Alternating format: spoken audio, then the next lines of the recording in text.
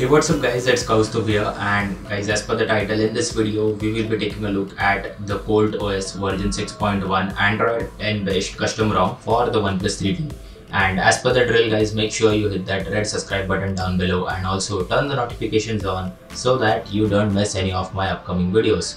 So without wasting any further time let's roll the intro and let's get the video started.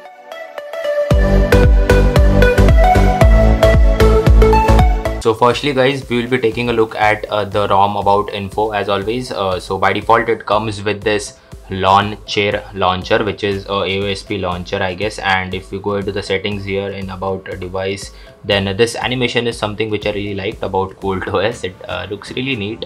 Then uh, coming to the Android version is Android version 10 as you saw here we get the Colt version which is 6.1 that is the latest version and latest build for the OnePlus 3T here. And uh, then the name of the developer is Rakesh Batra. He is an Indian developer I guess. Uh, so kudos to him for making this excellent ROM. Uh, Android security patch level is June 5 2020 then build date is June 8 I got the latest build which was updated on the XDA forum. Then kernel version is Colt Andy 10 like a 3.18 Colt Andy 10 this is the default kernel with this ROM I have not meshed with the kernel.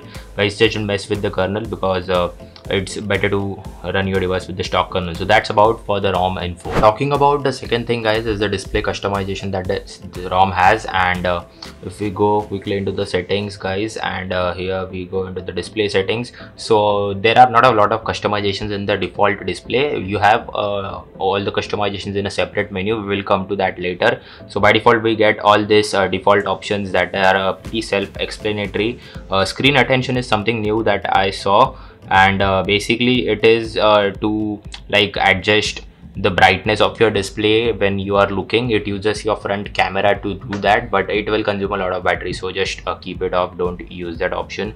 Then uh, in uh, here we get if you go down here then we get this all font options. We can set a lot of fonts icon shape status bar icons. Then uh, device vr device. Then this all self-explanatory options are present in this uh, display settings.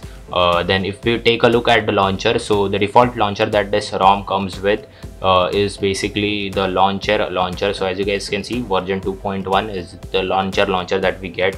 And uh, in customizations we get all customizations just as similar to nova launcher. So customizations are there there is no problem with that.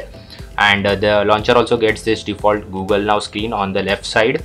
And if we swipe then this is the app drawer. This is how it looks the launcher feels pretty smooth enough like uh, i didn't get any hiccups in the launcher.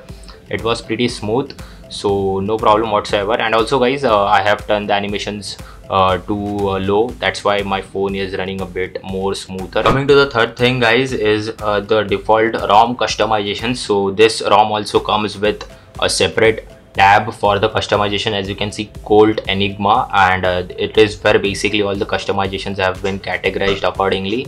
So if you take a look at this bar these are all the status bar customizations button customization lockdown lock screen customizations then uh, system customizations and about uh, so this is the about section. And this also looks really cool. All the developers and the maintainers name have been given so yeah. So if we take a look at the status bar customizations we get all uh, which we could expect from a rom of this potential. So no problem with the customization. I will not go deep into all the customizations but we have all the customizations that we might ever need.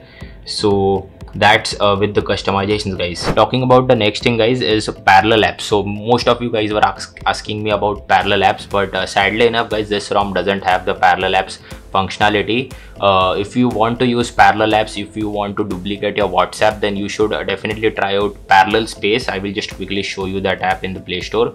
So just go to this uh, go to play store and just search for parallel space here. And uh, if you check this out parallel space Lite dual app. So just install this app guys. Uh, with the help of this app you can duplicate all your apps such as whatsapp facebook messenger. So it will get your problem sorted out so that's it for the customizations. And also another security customization that i really liked is the face unlock. This rom uh, by default comes with the face unlock. So i will just quickly demonstrate you. As you saw it quickly just unlocks in a second. So here as you guys can see you get the face unlock option and it is similar to the pixel experience rom.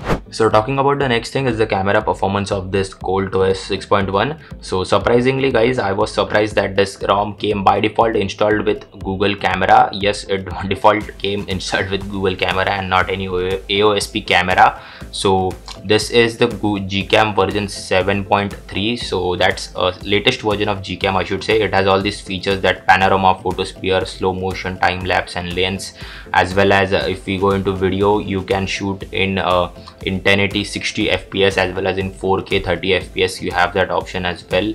Uh, in camera also you get all the settings just like uh, any google pixel phone that is uh, hdr control settings you get flash settings uh, then auto white balance and all the good settings that you might ever need in your camera app as well as some extra settings are present uh, if we go into the advanced menu here as you can see. So camera wise this uh, rom is out there like the performance is really good. Coming to the last thing guys uh, is the battery life of this rom.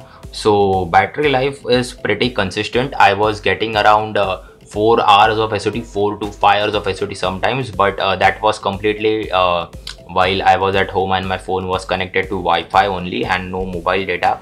But uh, if I have gone outdoors also by using mobile data I was on almost getting about 4 hours of SOT so yeah so overall this ROM is pretty stable enough and uh, I would highly suggest you guys this Android 10 ROM rather than trying out any other ROMs. Just try this out. You will be sorted for uh, using the OnePlus 3T. So that's about it. I hope you guys like this video. If you like it, please do hit the like button and also do get subscribed to my channel for more such content. This is your boy Kaustubia from T2E signing off. You guys have a great day.